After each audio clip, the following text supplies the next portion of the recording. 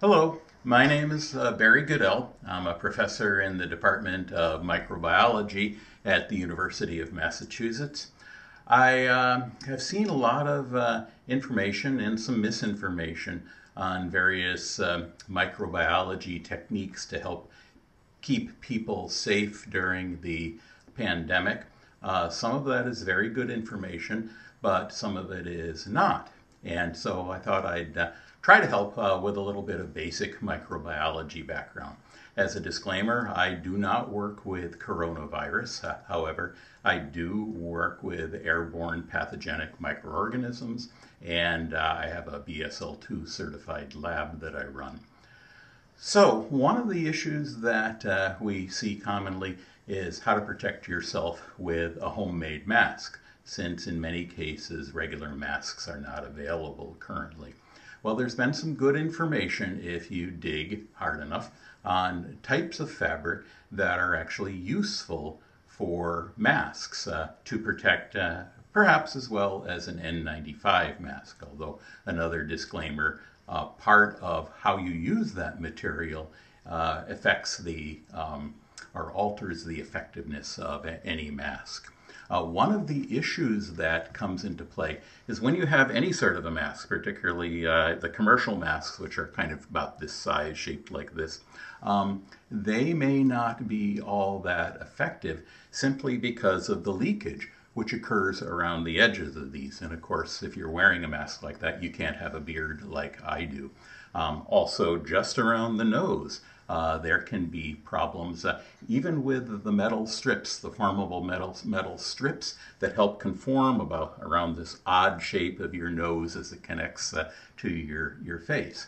Um, so there's often a lot of leakage there, and that is where a lot of uh, contaminants actually will enter the mask. So we can help mitigate that with a different type of mask, and particularly if you're making one that's homemade. Okay, so um, I'll show you in a, a few minutes, but uh, there are different types of common fabrics that have been tested, and many of these fabrics really aren't all that good. For example, t-shirt material or uh, sweatshirt material or fleece material really have not been shown to provide all that much protection against virus particles entering. But one publication from uh, Cambridge has uh, done a fairly good job of uh, looking at fabrics and found that tightly woven cotton fabric, relatively thick cotton fabric, and two layers of that material, such as tea towel material, actually do a good job. And in many respects uh, will do, not in all respects, but uh, in many respects will do a decent job close to that of an N95 mask in protecting you. And uh, my perspective is when you can actually protect more of the edge, then you'll actually do a better job than many N95 masks, particularly if they're not particularly, uh, particularly if they're not all that uh, well fitting to the face.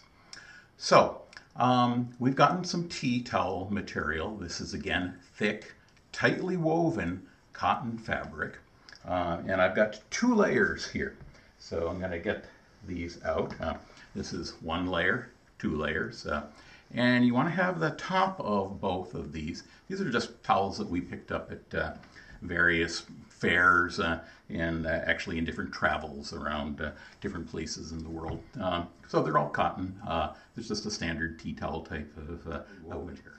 Put them around uh, your face. You don't have to get it too far up into the eyes, over the bridge of the nose. this is just a standard paper type clip. Um, that I'm going to use to temporarily fasten uh, in the, the back.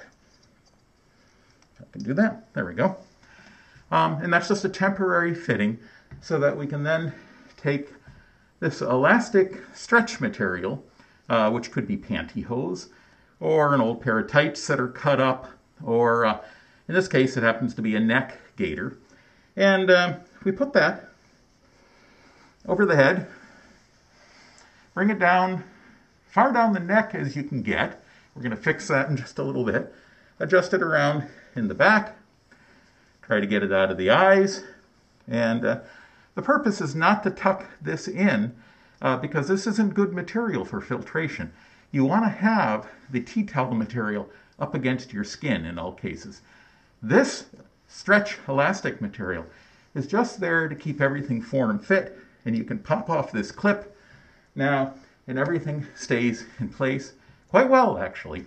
Um, so this is an easy way to make a, a mask.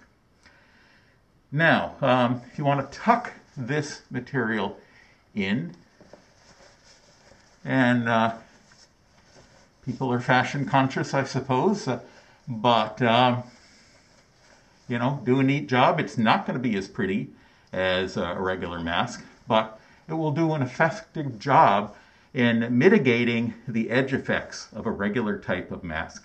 Plus, you're working with two layers of the tea towel, which is shown to have good uh, effectiveness in preventing particles of uh, viral size from entering.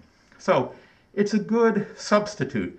Nothing is perfect, of course, but it's a reasonable substitute. Now, there's been concern, how do you take off a mask and do that carefully?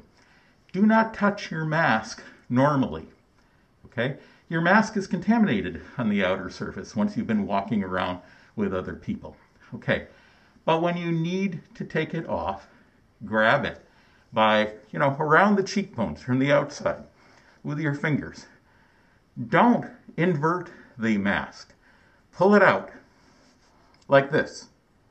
Pull it out like that and then directly over your head, taking the whole thing at the same time. And then take this and pop it right into a bowl or maybe a sink that you've already prepared of warm soapy water. Just drop it right in and immediately go back and wash your hands now. In fact, wash your hands and also wash your face, including around the nostrils and the mouth.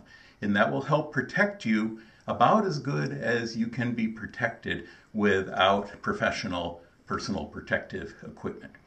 So I leave you with that and I hope it helps. Thank you.